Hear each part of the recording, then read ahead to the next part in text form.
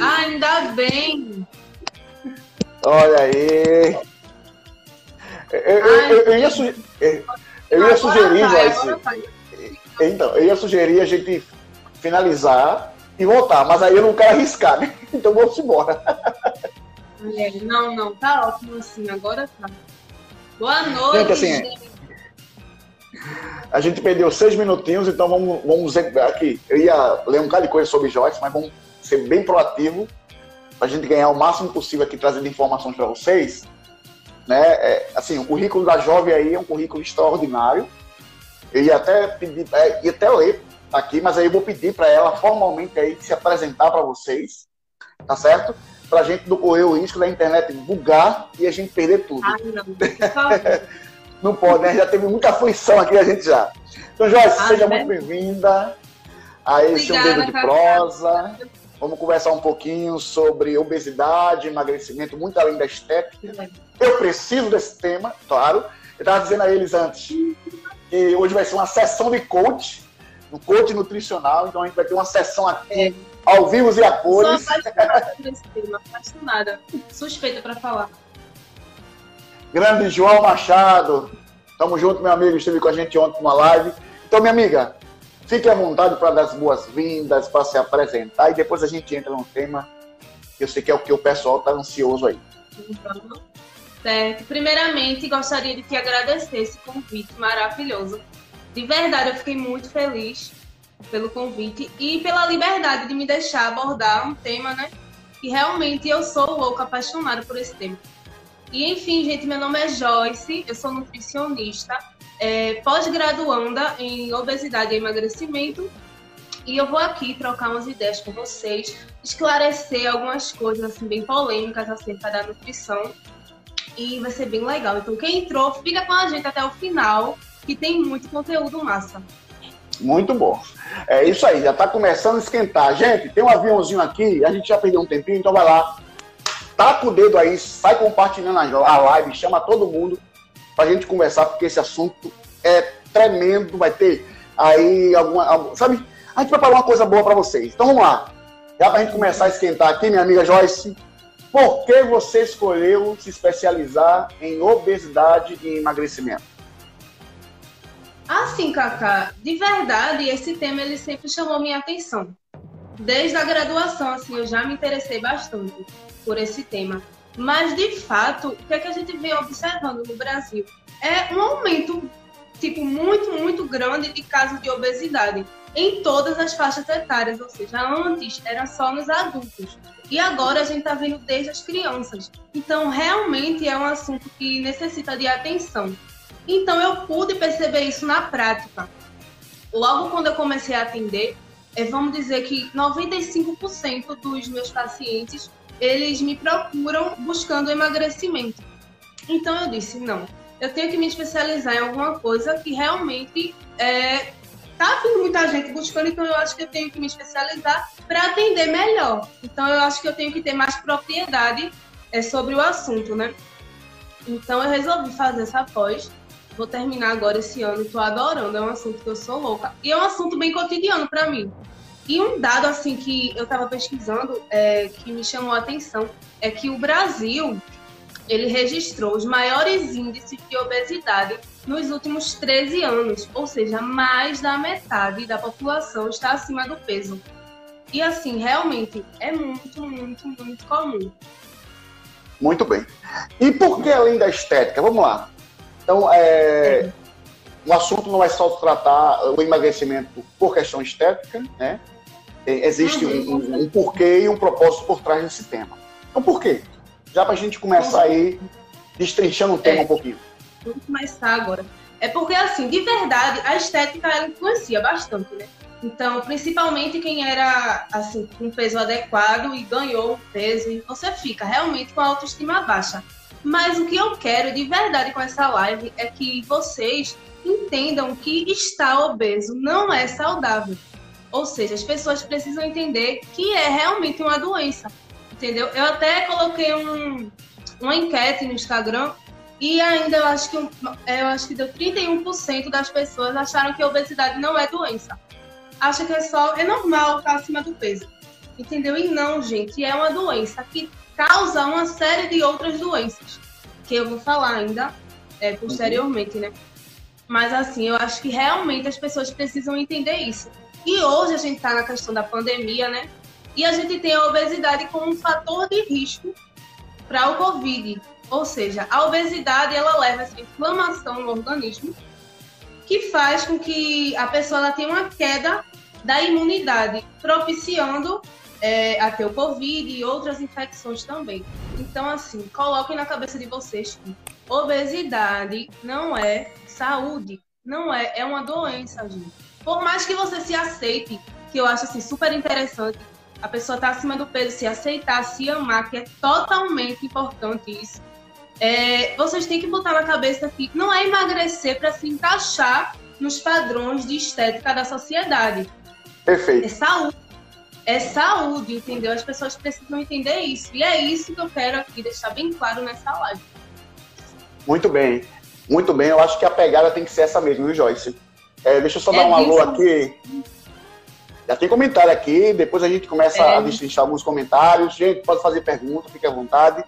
A gente tem um roteiro, mas aqui, é, como eu sempre digo, aqui você tem vez e tem voz, tá? Então, Deixa eu só dar um alô aqui para a Ediene, que é nossa secretária de Ação Social, que está com a gente aqui também, que está por Suma. Então tem, um, é, tem uma, uma, uma, galera com a gente aqui já. O Edilson está dizendo o seguinte, deixa eu só ver aqui, achei interessante o, o, comentário dele. É boa noite, gostaria de dizer que já que na ilha de Itamaracá existem vários profissionais competentes, santo de casa, faz milagres sim. Parabéns, Joyce, orgulho de você. Beijos. Obrigada, Dilson. Inclusive, está dizendo aqui que participou de um projeto, é justamente isso. A gente ia ler no histórico essa menção que ela recebeu de honraria, mas, assim, por conta do tempo, né? Então a gente precisa otimizar melhor é, essa, esse, esse, nosso dedo de prosa. Agora, você aproveitou, a gente, aproveitando aí a, a, deixa, você falou que obesidade não é saúde de jeito nenhum. Então, o que é que pode causar de danos depois, depois eu quero fazer uma pergunta que não está no script, mas como a gente tem um pouquinho de sobrepeso, então a gente quer. Aproveita. Uhum. Dentro dessa pergunta, das causas que a obesidade pode trazer à nossa saúde, eu gostaria que você também explicasse o que é sobrepeso e o que é obesidade, a diferença entre, entre esses dois. É. Na verdade, a obesidade ela vai estar relacionada ao percentual de gordura, entendeu? Que o percentual de gordura adequado em mulheres está entre 18% e 30%, sendo 12% da gordura essencial para o nosso organismo. Ou seja, as mulheres elas tendem a acumular mais gordura, infelizmente. E os homens vai de 10% a 25%. Entendeu? Mas assim, de classificação de sobrepeso e obesidade, a gente leva em conta o IMC, que é o índice de massa corpórea, que leva em relação o peso e a estatura. Faz um cálculo lá e vê. Aí, para dar adequado, o IMC ele tem que ser de 18,5 a 24,9, né? E se for sobrepeso, é 25 a 29,9. Acima, acima disso, de 29,9 para cima, ou seja, 30 para cima, o IMC já é obesidade. Ou seja, a gente faz esse cálculo para poder classificar a pessoa se está com sobrepeso ou se está com obesidade. E tem os níveis de obesidade, tem grau 1, grau 2, grau 3, até chegar na obesidade mórbida, que já é o grau extremo. Entendi. Então, deixa eu, eu, falando aqui porque tem que aproveitar, né, gente? Como eu falei a vocês aqui, uma sessão de coaching nutricional. Então vamos aproveitar, bora sugar ela hoje mesmo de informação. É, é, uma, é uma sessão grátis aí para vocês. Então lá. Eu tenho 1,75 de, de altura. E hoje eu estou, em média, 110 a 115 quilos. Esses dias não me pesei, eu, eu abandonei a balança esses dias. Qual seria o meu peso ideal? Aí eu tenho que calcular aqui. Porque a gente é. faz um cálculo que. Eu assim, posso média, eu sei. É, é a média, posso... aqui, claro que a gente vai. É, eu posso ensinar o cálculo para vocês. Como é que você descobre o seu peso ideal? Para você ficar no peso ideal, a gente tem a faixa de eutrofia que vai de 18,5 a 24,9. Então, o cálculo do IMC é o peso dividido pela altura ao quadrado. Então, o que é que a gente faz? A gente coloca aqui, ó, IMC, era bom papel. IMC, peso e altura. Então, eu coloco aqui, ó, no IMC, para você ser eutrófico. 24,9 é o máximo. Se você engordar mais, você já vai ficar com sobrepeso. Aí eu boto aqui o 24,9, deixo o peso em cima e boto sua altura ao quadrado. E eu multiplico a sua altura duas vezes e multiplico com 24,9. É um pouquinho complicado, mas assim, eu acho que dá para ter uma ideia, entendeu? Você multiplica a sua altura ao quadrado e multiplica por 24,9. Vai dar seu peso ideal. Bom, enquanto você está falando, eu estou calculando aqui. Enquanto você está conver uhum. conversando aí com o pessoal. é. Eu? Pode calcular. Aí a gente tem a faixa, né? O mínimo é 18,5 e o máximo é, é 24,9. Então daria 87 quilos. É. Ponto 15. Tá com quantos quilos? Mais ou menos de 110 para 115. O Miguel tá dizendo aqui que eu tô obeso, rapaz. Não passa comigo, não, pelo amor de Deus. então, hoje o peso ideal seria 87 quilos, mais ou menos. É. Aí mais que isso, já estaria no sobrepeso, entendeu? Sobrepeso, né? É. Então, isso. depois vai ter dica aí da, da pra gente, tá, gente? 87, porque 87 tá ali na linha do perigo. Agora tem outra questão, Cacá, que é importante deixar claro.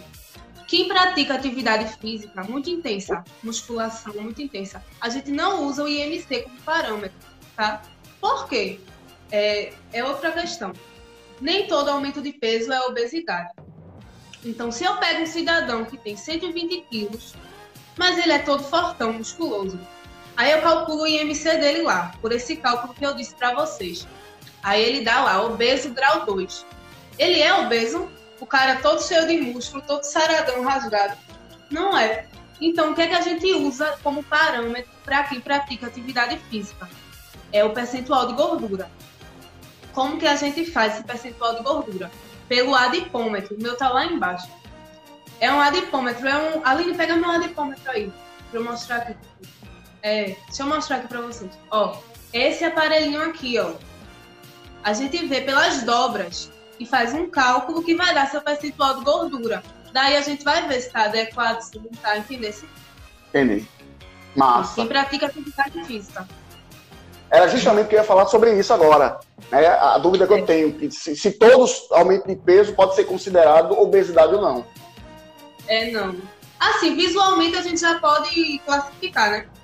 Se eu vou usar o, o adipômetro, se eu vou classificar pelo IMC, porque se eu chego uma pessoa de 120 quilos, mas que eu observo que essa circunferência da cintura está bem assim, avantajada, eu observo que a pessoa realmente está cheinha, eu já sei que não é, eu vou ter que usar o IMC, porque até uhum. porque, Cacá, o adipômetro ele não tem uma amplitude tão grande para uma pessoa que é muito obesa, entendeu?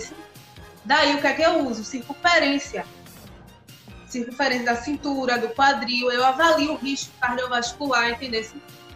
Aí eu faço todo Muito um cálculo. Mas se chega um cidadão com os mesmos 120 quilos, todo musculoso, rasgado, eu nem uso IMC.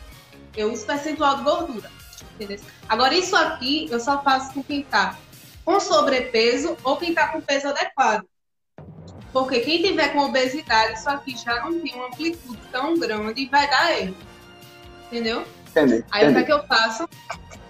Chega uma pessoa é, obesa para se consultar. Aí daí, visualmente, eu já sei né, que ela tá com obesidade. Aí daí eu faço toda a avaliação com a pessoa, enfim. Faço, aí avalio o risco cardiovascular e vou fazendo todo o planejamento, porque de fato é um tratamento. Faço todo o planejamento, um tratamento com a pessoa. E daí, quando ela chegar no sobrepeso, eu começo a trabalhar com percentual de gordura percentual de massa magra. Mas primeiro eu quero que ela perca esse peso, esse excesso de peso, para poder ficar adequada, entendeu? E isso também. E as fases, né? A gente vai falar um pouquinho sobre isso, mas deixa eu só ler um comentário que eu tô morrendo de rir aqui. Eu tô me segurando. Uau, porque, porque o Oziel aqui é, é assim. oh, meu Deus. O Oziel disse assim: Eu tenho 106 quilos de pura gostosura. Viva os gordinhos! Pois é. Botou isso, hein? Oziel. Gente, assim.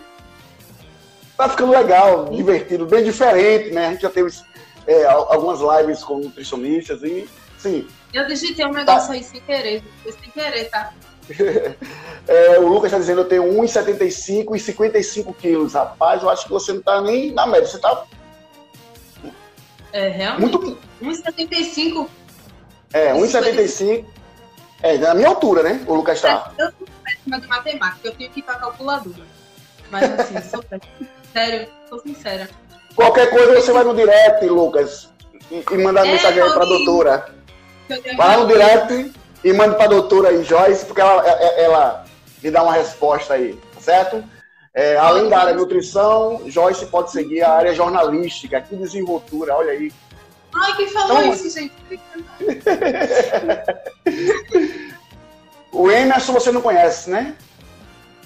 Sei nem quem é esse. É, é o Muay, um, rapaz, eu não sei, até para dizer esse nome é meio ruim, Emerson. Muay Thai me espera, Cacá. Ô, rapaz, ele prometeu, vou chegar lá. Ai, Cacá, então vamos lá. Já faz consultoria comigo, já vai treinar Muay Thai.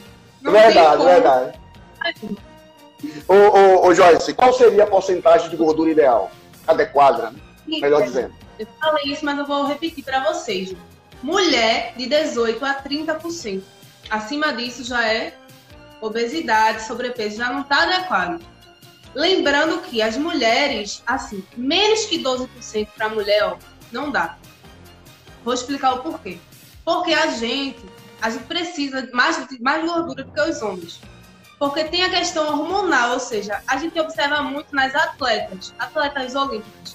Quando elas baixam muito o percentual de gordura para poder se encaixar naquela categoria, elas nem menstruam porque a menstruação tem a ver com a questão hormonal e a gente precisa de gordura para poder produzir esses hormônios e menstruar e, enfim, manter o útero saudável. Então, não adianta se chegar aqui uma mulher e dizer, ah, eu quero 10% de gordura.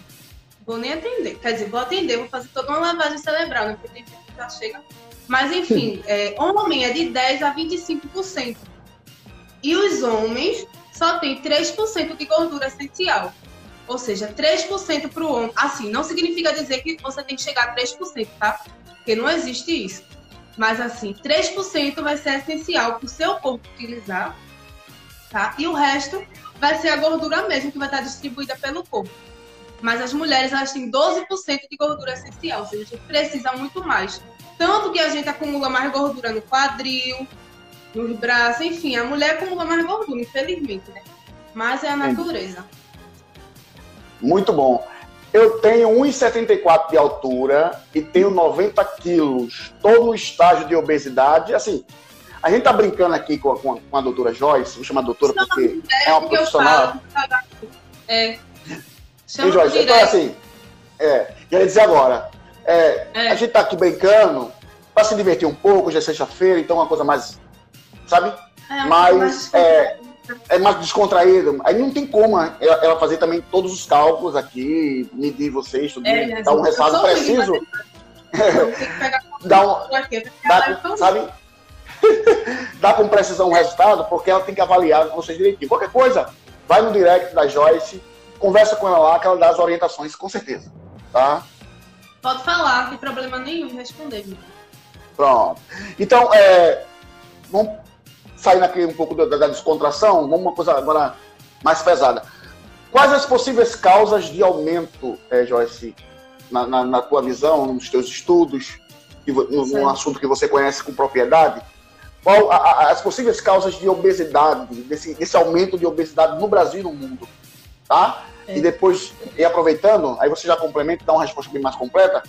E quais são as é. principais causas de obesidade em crianças e adolescentes? Ok. Gente, o que é que a gente tem percebido assim atualmente? A rotina. A rotina tá muito, muito assim, ó. É você acorda, você tem que trabalhar, você tem que fazer isso, fazer aquilo. Então, a grande questão da causa de obesidade hoje em dia é a mudança no padrão alimentar. Ou seja, as pessoas elas estão buscando mais praticidade. As pessoas não estão mais consumindo os alimentos in natura, que são os alimentos naturais estão mais buscando os industrializados, que tem, a maioria, assim, tem muito industrializado que é até é legalzinho. Tanto que eu tenho um quadro no Instagram, um quadro não, um destaque, que é o Se Liga nos Rótulos. E daí eu ensino a ler rótulo, enfim. Então, a busca da praticidade, ela está atrapalhando muito a questão alimentar, entendeu? As pessoas, elas têm uma rotina muito corrida e não se preocupam com a alimentação. além do sedentarismo. Porque hoje em dia, desculpa, eu não tenho tempo. Eu não tenho tempo, mas tem tempo de ficar aqui, ó, Instagram, WhatsApp, enfim, as pessoas não priorizam isso. E assim, é, de verdade, o Brasil ele passou por uma transição nutricional. Antigamente, o que é que tinha mais? Desnutrição. Desnutrição. 1970, 1970 era desnutrição. Então, o que é que veio mudando? Veio a Revolução Industrial, daí vieram os industrializados, enfim. Aí os soldados iam para a guerra, vamos botar aditivo, porque a comida ela precisava durar, entendeu? Aí veio os enlatados, os embutidos, coisa prática, entendeu? Aí veio essas coisas práticas, enfim. Aí veio inserindo na alimentação. Aí foi modernizando cada vez mais. Tanto que hoje em dia tem produto que dura 7, 6 anos, minha gente. Aí você pensa, isso é saudável? Um produto que está ali, que vai durar na prateleira anos e anos, não é. Entendeu? Então a questão é essa: é a mudança no padrão alimentar e a questão do sedentarismo. Ou seja, quem quer mudar tem que priorizar. Tem que priorizar. Eu tenho que ter uma alimentação saudável, eu tenho que planejar minhas refeições, eu tenho que planejar o dia de fazer compras, eu tenho que tirar um tempinho. Tem paciente minha que diz, ah, eu não tenho tempo. Vamos lá. Cinco minutos, se você tirar, você faz. Um exercíciozinho, um cardio, qualquer coisa. Carol dizendo que tem preguiça. Tu é fuleira demais. não, menina. Tem que ficar no pé direto. Carol é uma paciente fuleira. Mas enfim, gente, a questão é essa. Vocês têm que priorizar a alimentação. Não tenho tempo, tira um dia, um dia só da semana. Faz a refeição, congela, deixa lá. Dura para a semana inteira. A questão da, das obesidade, da obesidade em crianças e adolescentes. Vamos lá. Se tem os pais que se alimentam totalmente errado, os filhos eles vão ter hábitos alimentares saudáveis? Aí o lanche da criança. Bicho, Aí o lanche das crianças. Biscoito recheado, salgadinho, refrigerante e suco de caixinha. Gente, se vocês amam seus filhos, priorizem. É uma alimentação natural para eles, por favor. É um pedido assim, ó. Por favor, sério. É verdade, é sério. é verdade. É porque eu fico desesperada, Cacá, quando eu vejo assim, ah, não, mas criança, criança que não tem infância é, não, é, tem que comer biscoito, senão não tem infância. Ó, é sorte minha de ter essa nutra em casa amanhã. Eu pego no pé de manhã, valeu.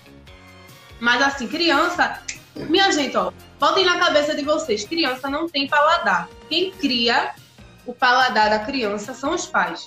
Então, se desde pequeno adaptar a criança a comer frutas, verduras, legumes. Ah, mas eu dei, ele não gostou. Tem que dar de 10 a 15 vezes cada alimento. Tem que ofertar.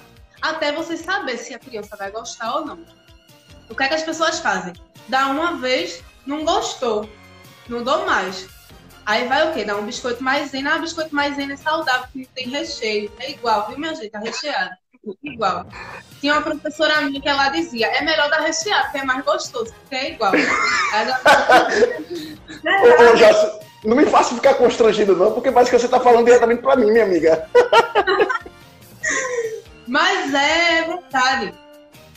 Aí acontece isso. A outra coisa que acontece, as crianças ficam o quê? Celular direto. A criança não brinca, a criança não corre, a criança não faz nada, é o dia inteiro no celular e os pais deixam lá. Ah, mas a criança fica quietinha no celular, dá um biscoito a ela, um salgadinho e bota aí o Lucas Neto no YouTube. A criança fica o dia todo. Mas você, os pais, não sabem o mal que estão fazendo com os filhos. É sério, gente. Ô, é, ô Joyce, vou te interromper aqui, porque assim, ô Emerson, da próxima vez, eu, eu, eu vou dar um cascudo, viu? Porque, assim, era pra gente estar na interação, mas eu tô, eu tô aqui, eu tô, tô, passando vergonha. que tudo isso que já. Que tudo isso que já. Ainda bem que a esposa tá deitada ali, não tá ouvindo pra não levar carão mais ainda, né? Mas, mas é, isso é verdade. É, assim, é verdade, é verdade. Você tá coberta de razão. A gente brinca, porque realmente você falou, é agitação, então a facilidade das coisas. Você falou, biscoito maisena, biscoito recheado. Assim, é uma coisa que é muito mais é prático para a criança. Ou então dá um dinheiro para a criança comprar. Aí ela vai comprar salgadinho, salgadinho, tudo besteira. Aí a probabilidade dessa criança desenvolver diabetes, hipertensão, dislipidemia, que é gordura no sangue. Aí me diz, você está fazendo bem pro seu filho? Não tá. Então, se você tirar um tempinho para preparar, ó, oh, minha gente, eu ensino no, no meu Instagram, diária, diariamente não, semanalmente, receitas práticas. Então, assim, eu sempre penso também nas mães que não têm tempo. Aí, um exemplo, em vez de biscoito recheado, se você fizer um biscoito, eu fiz uma rosquinha deliciosa de cacau. Se aqui em casa for aprovado, é aprovado para vocês, porque aqui o povo é chato, viu? O povo é chato pra caramba pra comer. Aí eu fiz, todo mundo gostou. Tem o de banana com mel. Enfim, tem uma série de receitas que eu faço prática. Que assim, as crianças, se você começar a ofertar, elas vão gostar. E às vezes é até mais gostoso. De verdade. Minha gente, eu Entendi. posso falar com propriedade disso, porque eu era obesa. A minha infância toda foi comendo besteira. Eu já cheguei a ser pré-diabética. Eu já tive gordura no fígado. Eu já tive bulimia. Eu sou novinha, mas eu já tive tanta da coisa. Misericórdia. É, é, é sério. E olha, eu com 13 anos eu já tive pressão alta, pré-diabetes e gordura no fígado. Aí depois eu resolvi emagrecer, fazer dieta doida. Fiquei o quê? Com anemia e com gordura no fígado. Eu até já postei, tem um destaque meu falando minha vida inteira no, no Instagram. Porque assim, o povo acha que, ai, nasci numa, na vida saudável ele. Nada, hum. menino. Eu que luto. É sério. E o que me fez de verdade é, fazer assim, estudar nutrição foi isso. Eu tive, sempre tive essa vontade assim de querer ajudar as pessoas de verdade a adquirir hábitos saudáveis, a mudar de vida, minha gente, é ganhar saúde. É sério, vocês têm que entender isso. É verdade. Assim, a gente brinca, a gente se diverte, como eu falei, sexta-feira, sabe, a gente veio de uma semana tão de assuntos sérios, então a gente vai relaxar. Não que esse não seja, é ao contrário, isso é, é, é extremamente sério, que a gente ri aqui de vergonha, né? É, a gente ri aqui de vergonha porque a gente faz tudo isso. E, como, eu, e a gente vê aqui um comentário que é realmente é assuntos como esse que nos motiva cada vez mais a procurar uma vida saudável, uma qualidade de vida melhor, porque a gente vai aprendendo, a gente vai tomando na cara alguns socos para a gente aprender, e a gente só aprende assim. Né? Parece que o, o Ozzy colocou aqui, se eu correr três vezes pro bar, eu emagreço?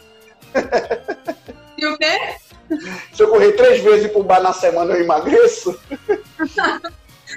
Aqui, ó, Carol dizendo. Não precisa passar fome. Meu lema é esse. Paciente que chega, não precisa passar fome, minha gente. É muito sofrido passar fome. Ninguém comigo passa fome, não, viu? Passa pois é, olha, olha, falou em dieta.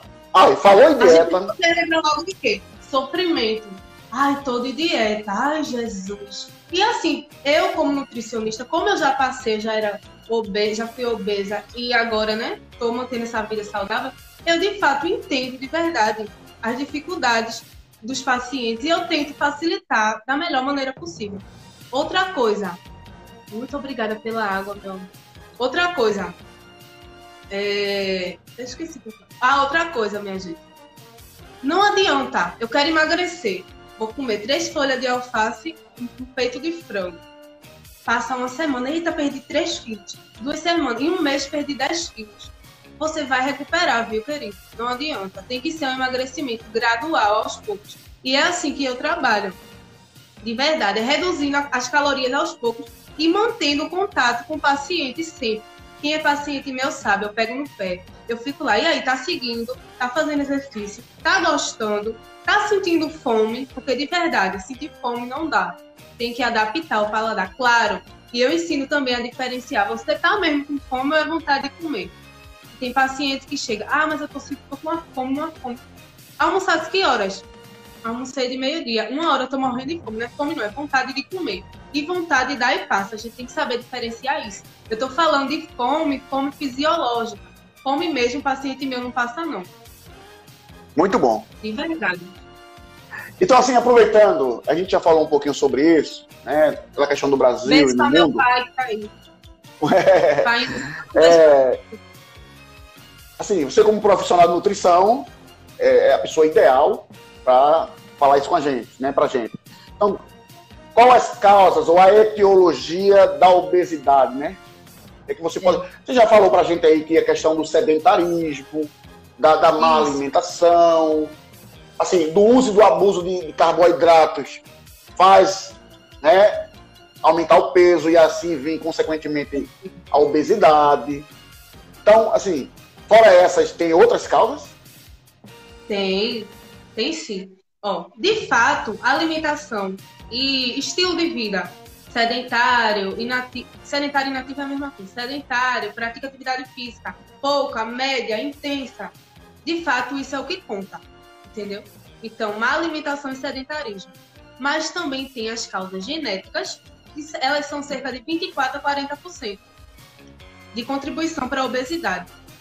Os fatores ambientais, que é a dieta e exercício físico, eles contribuem, eles contribuem, contribuem para 60 a 70%. Ou seja, é o que mais interfere. E tem também a questão de remédios, tem muitos anticoncepcionais, inclusive eu engordei bastante. Tem os corticoides, que eles contribuem também. Antidepressivos, mas enfim, isso é lá para os 5%. O que realmente vai determinar se você vai ser obeso ou não é o seu estilo de vida. Mas a genética influencia, influencia sim, viu? Sabe aquela, ah, eu tenho tendência de engordar? Tem gente que. Sim, ah, eu perguntar. Assim, isso, é, isso é verdade ou é mito? Verdade, gente, é verdade. E assim, ver, foram feitos estudos que observaram assim: eu pego duas pessoas do mesmo peso, mesma altura, duas pessoas sedentárias, não fazem nada.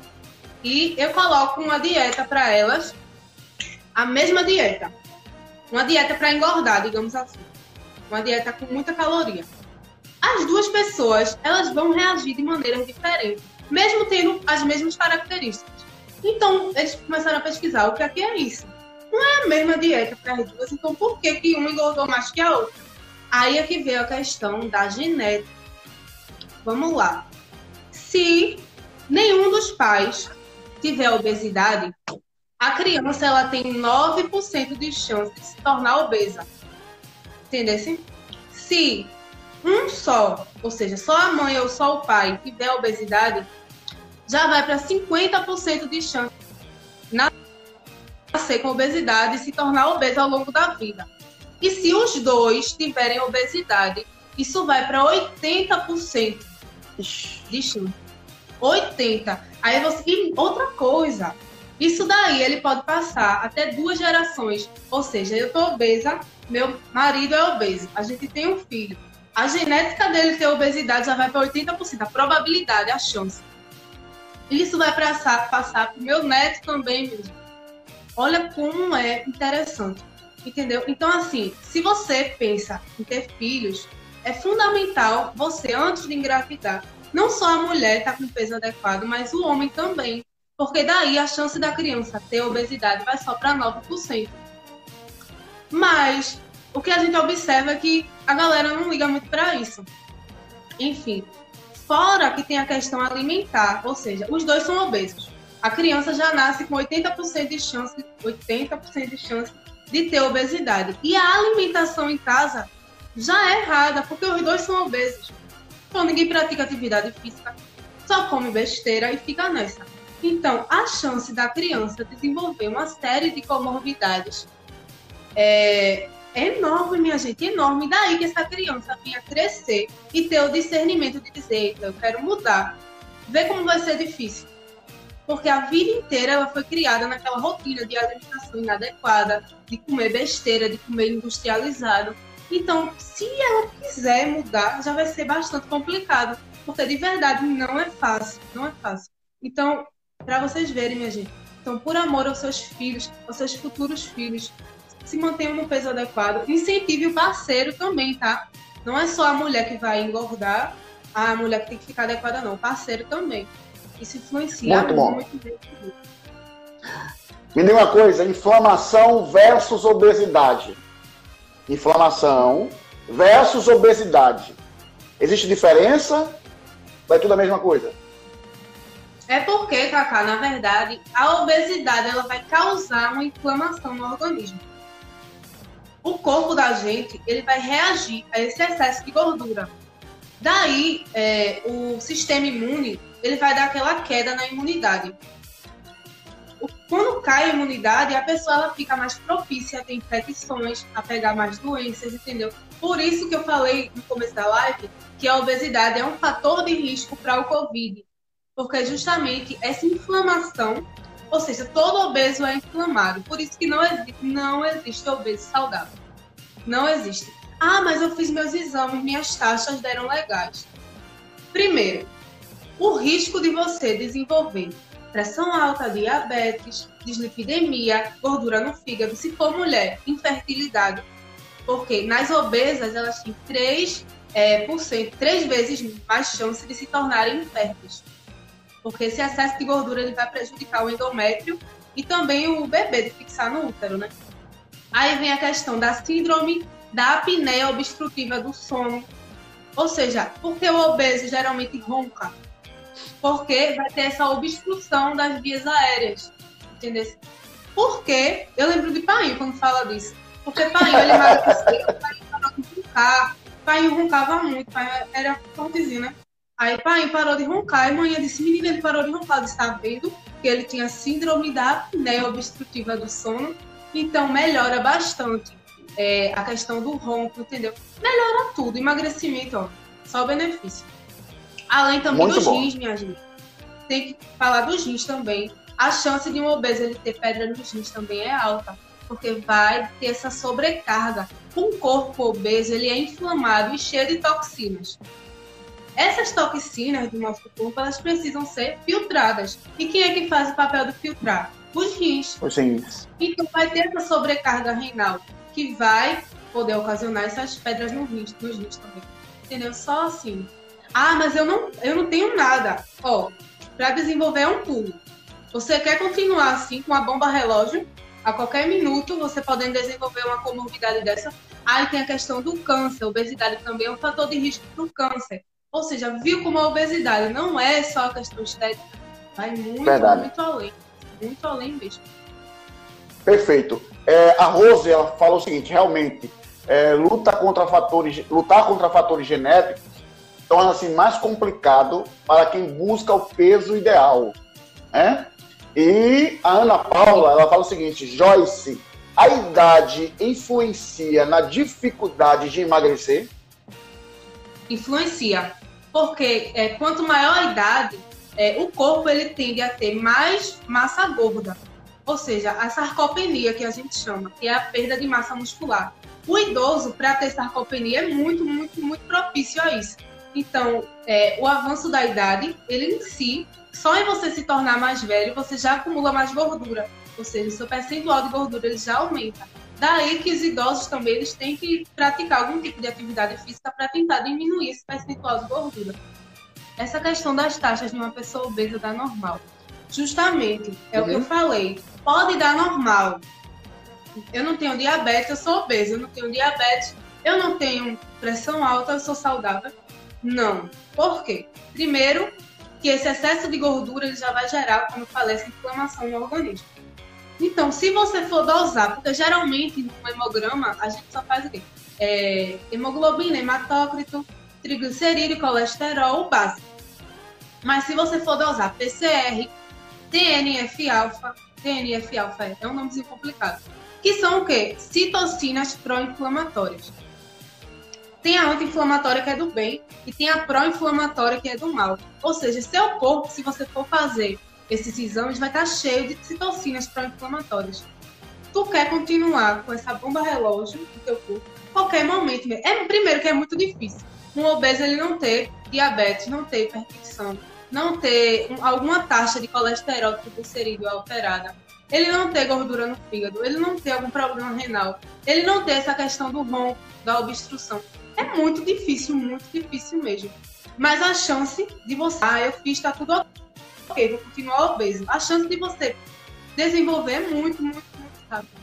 Além da inflamação que eu falei. Que é Com certeza. Perigoso. É. é. estresse, sono e microbiota. É, acho que é, chama isso, né? Mi, é, microbiota. Microbiota, é microbiota intestinal. Microbiota. Influencia também? É. Total. Total. Por isso que, assim, nas consultas eu sempre falo, tá passando tempo, o paciente vai lembrar. Está passando por alguma situação de estresse no momento? Como que está seu sono? Está dormindo bem? Está dormindo mal? Como que é sua alimentação? Para eu poder entender todo o contexto.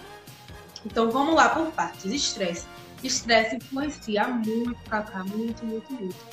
Por quê? Porque assim o nosso corpo ele entende que o estresse é uma situação de perigo. Então, o que é que ele vai fazer? A gente já tem essa, essa rotina, né? A gente já acorda com o despertador, aí enfrenta trânsito, tem trabalho. Ou seja, essa rotina estressante mesmo. Então, o corpo da gente, ele entende que esse estresse é uma situação de perigo. Então, o que é que ele faz? Eita, ela está em perigo. Eu estou estressada lá no trânsito. Eita, ela está em perigo. Então, o que é que eu vou fazer? Vou aumentar o cortisol. Cortisol é o hormônio do estresse. Então, aumenta o cortisol.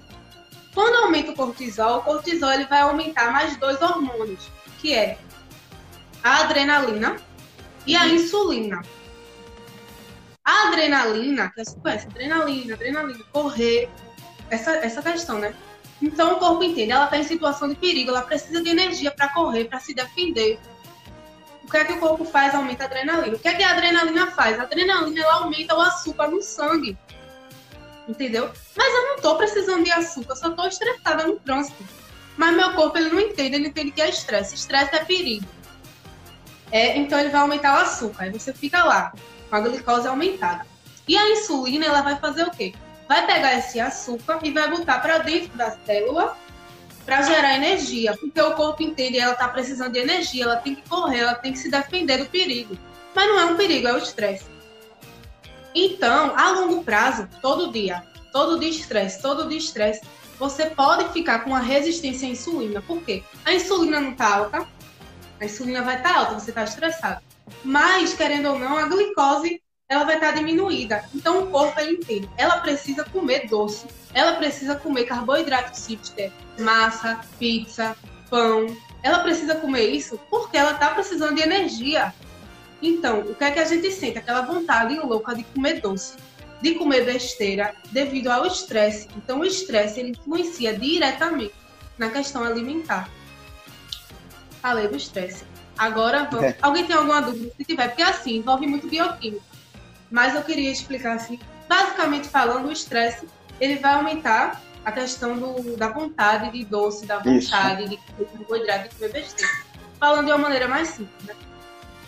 Sono, minha gente, o sono. O sono é muito, muito, muito, muito, muito interfere demais. Vamos lá. Uma pessoa que tem uma privação crônica de sono, ou seja, toda noite eu só durmo duas horas, três horas, fico lá naquela insônia, não consigo dormir. O corpo da gente, ele começa a aumentar o hormônio da fome, que é a grelina. Ou seja, aumenta o hormônio da fome, diminui o hormônio que vai dar saciedade a saciedade é a sensação de que a gente está cheio.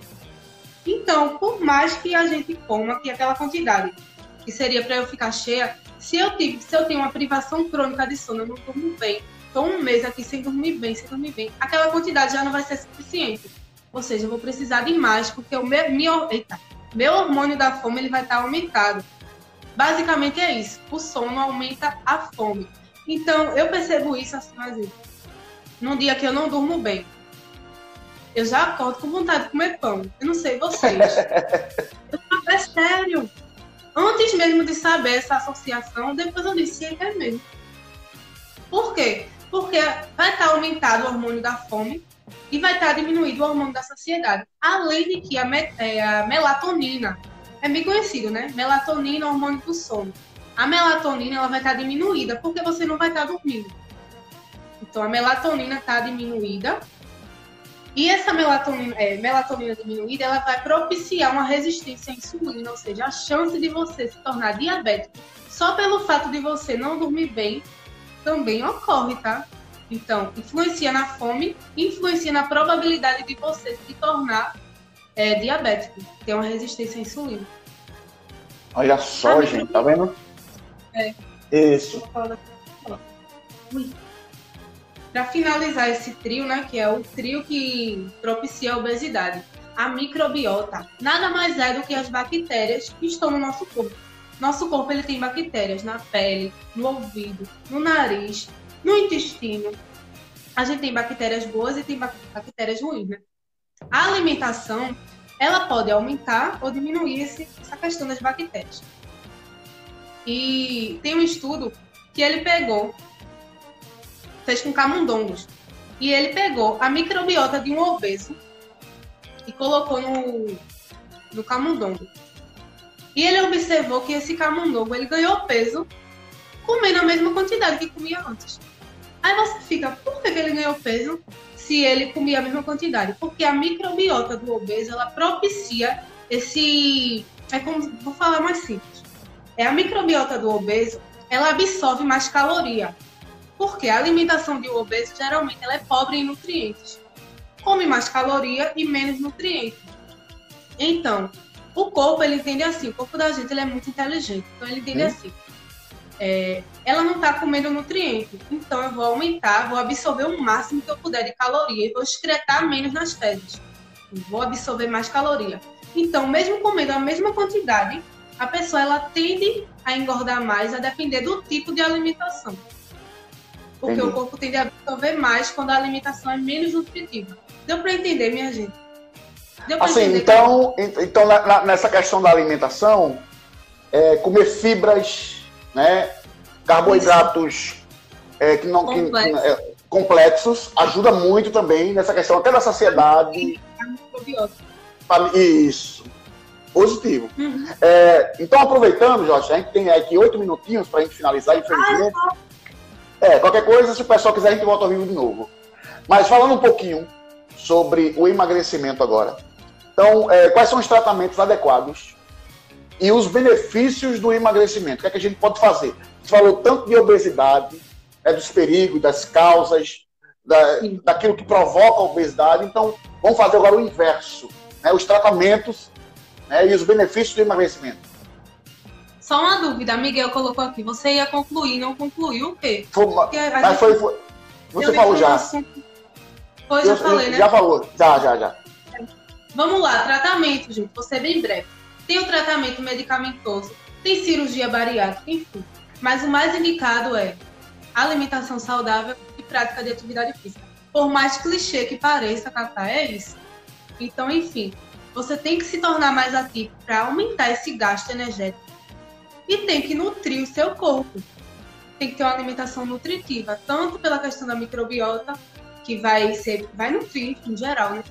E tanto pela questão do, dos nutrientes que vão ter benefícios, ou seja, pele, cabelo, olhos, tudo, tudo vai ser nutrido. Então a questão principal é essa. E como que a gente trata? Vou ser bem breve possível. Sim, sim, é, a gente faz o cálculo, o cálculo, né? E basicamente, para você emagrecer, você tem que comer menos do que você gasta. Comer menos do que você gasta. Então eu calculo o teu gasto energético que tu vai gastar durante o dia e eu vou promover um déficit, eu vou diminuir. Aí eu posso diminuir de 500 a 1000 calorias. Do, geralmente eu faço isso. Do que você gastaria. Daí você vai começar a perder peso. Porque você vai estar consumindo menos do que você está gastando. E é fundamental a prática de atividade física para aumentar o gasto, ou seja, a queima de gordura, entendeu? Aumentar o gasto de energia. Muito bom. Então, para a gente finalizar aqui nesses minutinhos que a gente tem, quais são as dicas da Nutri pra gente aí nessa luta contra a obesidade, aí nessa luta para emagrecer, que não é fácil, Não é fácil. Não eu já é cheguei fácil. a nove. Rapaz, eu, eu, eu, no período que a gente perdeu peso, cheguei a 90 quilos, mas pense numa coisa sofrida. Mas eu consegui, sabe, Joyce? Mantive uhum. os 90 quilos. Aí quando fui trabalhar na Bahia, como lá não tinha, perto da, da região, não tinha academia, não conhecia ninguém, então a gente começou a comer embutidos, carboidrato simples, aí até hoje, para voltar para academia, que eu ouvi aí comentários, está difícil. Viu? Então, quais são as dicas aí para gente que quer emagrecer? É, vamos lá, gente. Primeiro de tudo, diminuir a quantidade. Isso é o básico. Mas uma dica que eu dou para vocês: não comecem reduzindo demais, comece aos pouquinhos, diminuindo a quantidade. E outra questão, mudando a qualidade, não só a quantidade, mas a qualidade da alimentação priorizem os alimentos in natura, os alimentos naturais. Priorizem a base da alimentação, alimentos naturais. Outra dica, opte pelos integrais pela questão da saciedade, porque você vai estar diminuindo a quantidade, mas aquela quantidade ela vai estar mais nutritiva. Vai te proporcionar mais saciedade e daí você vai demorar mais para sentir fome.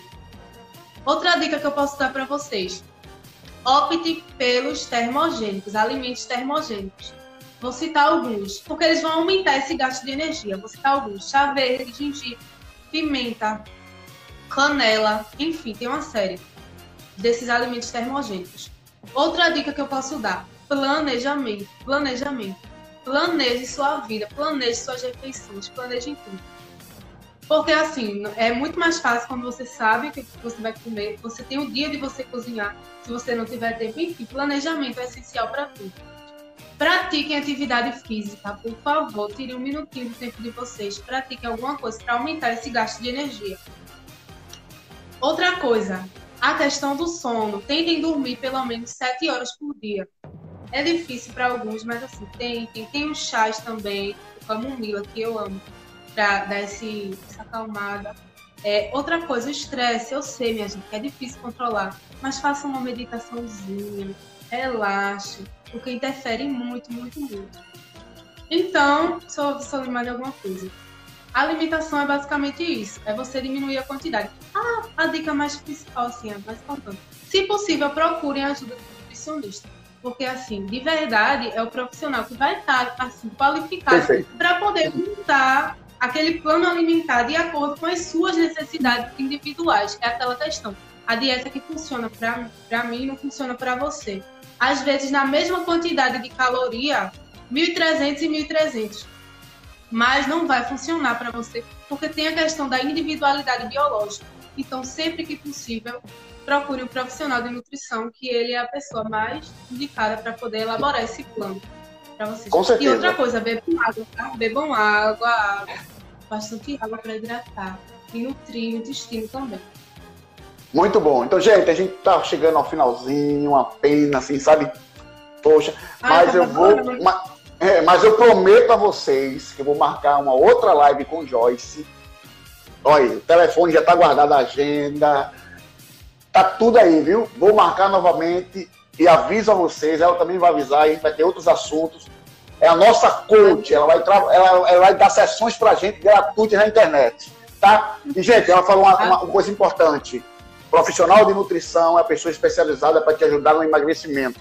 Então, é, essas dicas muito doidas na internet, essas dietas muito doidas, cuidado. Então procure um nutricionista, um profissional de nutrição, que ele vai te auxiliar. Então qualquer coisa, vai lá no direct da Joyce, que com certeza ela vai te atender muito bem, tá certo? Então Joyce, a gente tem um minutinho aí para você trazer suas considerações e a gente marca outra live, se Deus assim permitir. É. Enfim, obrigada, adorei, adorei de verdade participar dessa live. Muito bom poder compartilhar conhecimentos. Adoro, de uma área assim que eu sou apaixonada. Obrigada a todos vocês que ficaram com a gente até o fim. Enfim, gente, estou muito feliz. E eu acho que vai ter essa outra live mesmo, né? Vai ter sim, porque todo mundo. então deixa eu só dar um aviso. Só dar um aviso. Essa live vai ficar no nosso IGTV e vai para o nosso canal no YouTube, tá certo? Então quem não é inscrito, vai lá, Carlos Alves Oficial. Amanhã já vai estar no YouTube, porque você pode assistir até na televisão na sua casa, tá certo? Porque compartilhar informação, aprender é bom demais, gente. Então, gente, muito obrigado. Eu Joyce. Enfim. Joyce, Deus te abençoe. Muito obrigado mesmo. Obrigada a você, Cacá. Todo mundo aí. Gente, muito obrigado mesmo por ter ficado até, Tchau, até agora. Obrigada aos pacientes aqui que estiveram aqui comentando. Cassinha, Sandrinha, Carol, gente, ó, valeu, valeu mesmo. Então, gente, muito obrigado. Um cheiro no coração de vocês. Para a semana tem mais live, tem mais conversa, tem mais dedo de prosa. Tá certo? Deus abençoe. Eu espero vocês no nosso canal no YouTube. Tchau, tchau. Até amanhã. Tchau, galera.